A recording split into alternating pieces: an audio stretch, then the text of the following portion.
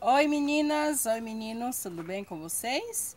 Eu sou Fabiana, do canal Orquídeas da Bibi. E hoje eu vim aqui mostrar umas meninas floridas para vocês. Umas nem tão bonitas, porque eu vou mostrar para vocês o que que esse bicho filho a e fuça com gato cego fez com a minha flor as minhas flores. É, a primeira, gente, é uma Mickey na gata. Gente, pensa numa flor gigante, gente. Gigante, gigante, gigante. Mas olha aqui, que judiação. Eu tava trabalhando, gente, na pecuária. E aí, você já viu, né? Quando o rato quando o gato sai, quando a gata sai, os ratos fazem a festa, né? Olha aqui pra vocês verem. Comeu tudo. Gente, o cultivo dessa planta aqui pra mim foi o seguinte. É, foi um cultivo, é um cultivo fácil, tá? Mas, para você que tem essa planta, Mickey na gata, é, evitem o máximo possível fazer replante, tá, gente? Em horas erradas. Que eu acho que foi isso que aconteceu aqui comigo, para ela não florir é, o mais, assim, mais depressa, né? Deixa eu aumentar aqui o brilho, aí. Então, assim, eu acho que foi isso que aconteceu. Eu plantei ela em época errada e por isso ela demorou a florir aqui em casa. Na faixa de mais ou menos uns três anos, tá? Foi isso mesmo, três anos para florir aqui em casa. Ansiedade? Demais da conta. Mas, gente, sabe assim aquele cheiro de chiclete, tutti-frutti, misturado com rosa, aquela rosa bem cheirosa, bem suave, sabe? Um cheiro. Hum. Gente, é muito cheirosa. Então, olha aí. Comidinha, mas tá aqui mostrando. Vou. Tô aqui mostrando pra vocês. Gente, olha o tamanho dessa flor. Olha aqui o tamanho dessa flor. Enorme. É, você tem que sempre dar uma uma firmada no bulbo, estaquear, porque a bicha é pesada, hein? Agora, vou mostrar aqui mais uma pra vocês. Que as vaquinhas tava fazendo a festinha novamente e eu corri, levei lá pra dentro. Só que lá dentro de casa, gente, no beiral da varanda tá pegando muito sol. Eu tô sem sombrite, em alguns lugares aqui no orquidário também eu tô sem sombrite, né? Então eu tenho que estar tá caçando um lugar onde não pega sol para poder pôr elas dentro de casa. Mas olha aqui, gente. Que coisinha mais fofinha, gente. Olha aqui. Que trenzinho mais bonitinho. Floriu, olha aqui, ó. Olha aqui, ó. Aqui, ó. Floriu com duas frentes, duas frentes maravilhosas. Tá plantada num tronco de aroeira, tá? E fácil cultivo também, gente. Fácil cultivo. Sombreamento delas, gente. Sombrio de 50%, tá? Não menos que isso e nem mais que isso, porque senão ela não flore, se você colocar menos, ela queima, tá? Como vocês perceberam, ela tá com vegetal, as folhas bem, um amarelo, verde, mas não tão verdinho, mas porque tá pegando bastante claridade, tá?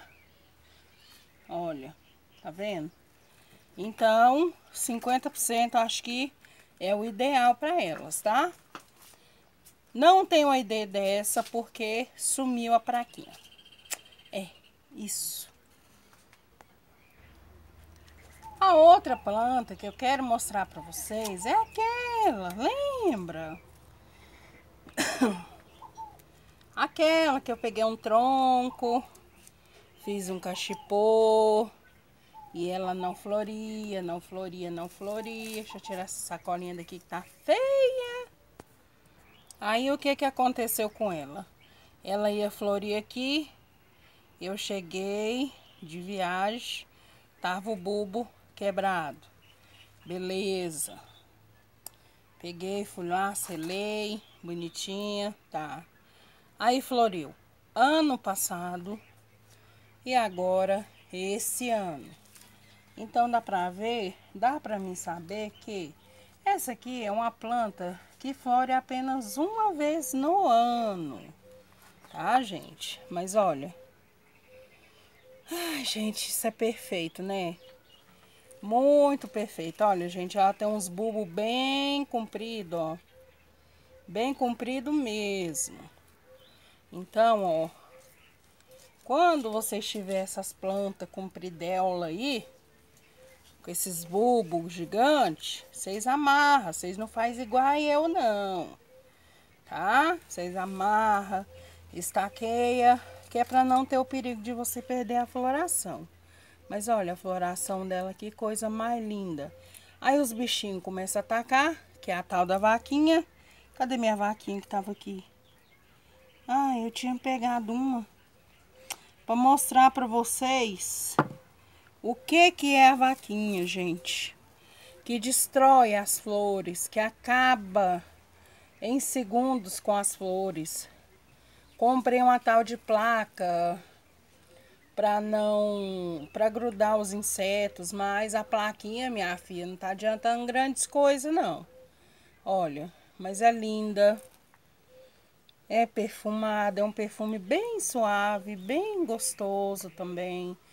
Não é aquele perfume enjoativo, tá? É uma catlé também de fácil cultivo, tá? Ela demorou um pouquinho para florir aqui em casa, porque primeiramente foi Não, primeiro foi porque ela veio para cá para mim beber. E depois é, aconteceu aquele acaso aqui, ó, que o bulbo quebrou, né? Que seria então a primeira floração. Então, na primeira floração dela, só deu duas flores. Agora, vieram três lindas e maravilhosas flores. Gente, olha. Não, olha o tamanho dessa flor, gente. Ela é enorme, gente, ela é enorme enorme mesmo. E eu já vou catar ela, já vou levar lá para dentro de casa, caçar um cantinho para ela para durar mais. Por conta das vaquinhas, né? Mas é uma planta muito fácil, de muito fácil cultivo. E agora eu vou mostrar uma para vocês que nunca pode faltar. Nunca elenca, nunca falta por aqui no meu orquidário, né? Vocês já conhecem ela, já viram ela várias vezes no ano florino. Então, eu vou trazer para vocês ela. Essa planta aqui, gente, ela é uma planta que flore absurdamente bem o ano inteiro. É, vocês já viram ela aqui várias e várias vezes. Agora, ela só tá com duas frentes. Mas alguns meses atrás, ela floriu uma, duas, três, com três frentes. E ela está aqui. Essa branquela maravilhosa, essa branquela linda, com duas flores. Veio mais fraquinha também, tá, gente? A floração dela veio só com duas. O normal dela vir é com três, quatro flores. Mas acho que ela tá cansadinha. E aí, nessa próxima, nessa floração aqui, ela veio com duas flores e na outra frente aqui ela tá com um botão, somente um botão. Gente, mas essa planta aqui é espetacular. Ela é cheirosa, ela é muito florífera, muito fácil de cultivar e tá uma torceirinha até bonitinha, tá? Muito bonitinha. A torceirinha dela, ó. Muito linda. Essa aqui é minha princesa, outra princesa, né? Muito linda. Olha, mostrar um pouquinho pra vocês. Sombrite pra ela, gente, 50% também, tá plantado na madeira. Como vocês viram, as outras é, é mais é madeira que eu uso aqui, ou cachepô de madeira, né? Então, assim, é o que eu tenho facilidade. É, eu tenho facilidade em encontrar troncos, eu tenho facilidade em fazer cachepô, que vocês sabem que eu mesmo faço os meus cachepôs. Então, olha, eu sei que elas gostam. Então, assim, aqui pra mim, a forma que eu não perdi mais orquídea foi essa. Foi em cachepô, foi em tronco, é, sem frescura, tá, gente? Porque é, minhas plantas não tem frescura nenhuma, não. Tem não. Eu vou dar um tratamento melhor para essa do que para aquela? Não, não tem disso não. É tudo igual. Toda a mesma adubação de uma é para outra. É, se eu tenho fungicida, eu, eu não vou passar só em uma, eu já vou passar em todas, eu já passo em todas. Então, o mesmo cultivo de uma é da outra, adubação, substrato, tá? É... Antes eu usava muito, muita casca de pinos com brita. Só que eu andei percebendo que a casca de pinos, ela atrai mais bichinhos, né? Então eu larguei de usar a casca de pinos e tô aos poucos, não é de uma vez, né? Aos poucos, mudando o meu o substrato das minhas plantas, né? Que é brita com casca de macadâmia, tá? E adubo, vocês já sabem qual é, Nutriorc e o aminoácido. E só, tá? Só isso, nada mais que isso. É o que está fazendo elas felizes, é o que faz elas felizes e traz essas lindas florações aqui pra gente, ó. Né? Não é linda, gente? Olha isso daqui. Muito linda e perfumada, tá, gente? Perfumadíssima. Então, deixa eu, deixa eu dar um pausa e mostrar um trem pra vocês também. Eu ia gravar para vocês o vídeo, mas não deu. A caixa chegou numa sexta-feira, bem no dia que eu tava bem arrochada mesmo de serviço. E aí, olha aqui. Olha aqui para vocês verem. Ó, esse dendróbio aqui, ó. Dendróbio. Ah, eu ganhei no sorteio.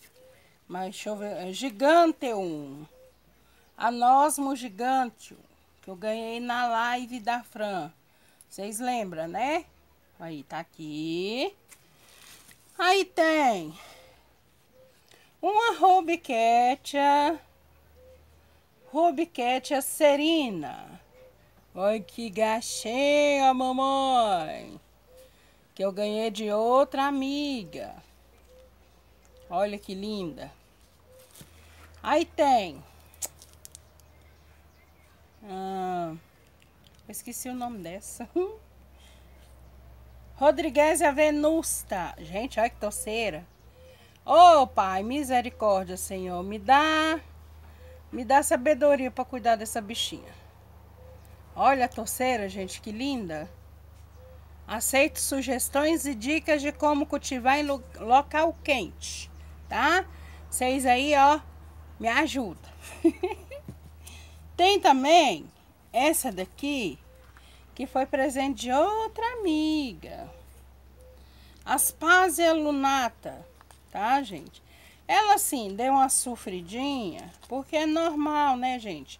Oncídio, é, essas plantinhas com as folhinhas mais delicadinhas, ó, como essa, são folhinhas finas, são folhinhas delicadas que sofrem um pouco no transporte. Então, ela sofreu um pouquinho, mas tá brotando, tá? Tá brotando e eu espero conseguir cultivá-la. E foi presente de uma amiga. Das... Eu não sei se eu posso falar o nome, então não vou falar não. Essa daqui É uma maxilária rufensis. Maxilária rufensis. Olha que gracinha. Essa daqui eu ganhei no sorteio. E esse daqui é o dendróbio. Dendróbio Star, Stardust Yellow. Que eu também ganhei no sorteio da live da Fran. Então, essas são as plantinhas. Eu só tenho a agradecer às meninas, às minhas amigas que me mandaram esses presentão, essas coisinhas mais mimosas do mundo, esses trenzinhos mais fofinho. Se Deus quiser, loguinho eu quero estar tá aqui mostrando floração para vocês, tá? Olha, bonitinho, bonitinho, bonitinho. Lindas. Eu amei, gente, ó. Eu acho que é um dos melhores presentes que uma pessoa viciada em orquídea pode receber. Orquídea, né? Então tá aqui, ó, meninas, recebi o presente de vocês. Muito obrigado, tá, gente? É assim, eu não gravei o vídeo antes, né? Por esse motivo, né, gente? Eu tava trabalhando na pecuária, então muito corrido para mim, muito corrido. Então não tive nem tempo de de abrir a caixa, namorar elas do jeito que eu gosto. Eu vim namorar elas no domingo. É, no domingo. E olha, muito bonitinha. Amei, amei, tá, meninas? Muito, muito, muito mesmo. Obrigada, agradeço vocês. E eu acho que era só isso, né, que eu tinha que... Não, peraí, tem outro trenzinho ali. A outra pra... Oh! Bananei tudo. A outra plantinha, gente, é essa daqui, muito exótica. Ela chama Epidendro ciliare. Ciliare. Ciliare. É uma plantinha muito exótica. Olha que gracinha. Muito bonitinha. Isso aqui já tá acabando, creio eu. Ou algum bichinho fez polinização por aqui. Mas olha, que gracinha. Muito bonitinha. Ela dá uns cachos, gente, ó. Ela dá uma haste. E na, no, nas hastes vem saindo os botões, tá? Você que tem o seu epidendro ciliar aí, Ó, ela dá haste e vem saindo os botões, tá vendo? E olha quanta flor. E olha que vegetal, gente, ó. Sinceramente, se fosse eu, Fabiana, há alguns anos atrás, no meu começo de cultivo, eu diria, temaria e afirmaria que essa planta é uma catleia. Mas não é uma catleia. Olha, o vegetal dela. Dele, né? Que é menino. Epidendrociliare. É um meninão. Mas parece uma menina. Uma catleia. Mas não é uma catleia, gente. Olha aqui. Gente. É uma catleia. pra mim é uma catleia. Olha aqui pra vocês verem. As folhas. Não, é idêntico ao vegetal de uma catleia. Então ele tá no sombrito também 50% tá, gente? É, secou, eu rego, não deixo faltar água para ele. Não sei se eu estou errada é, fazendo isso, né? Mas assim, secou, que seja, que ele tá bem seco, eu venho e rego. Porque eu acho assim, mesmo que ele tenha reserva de água nos bulbos, eu acho que é uma planta que se desidratar, eu acho que dá BO. Então ela morre, né? Então eu prefiro jogar água, aguar sempre que tá seco, do que deixar morrer de sede e depois perder a planta. Então tá aqui a planta Epidendro ciliare.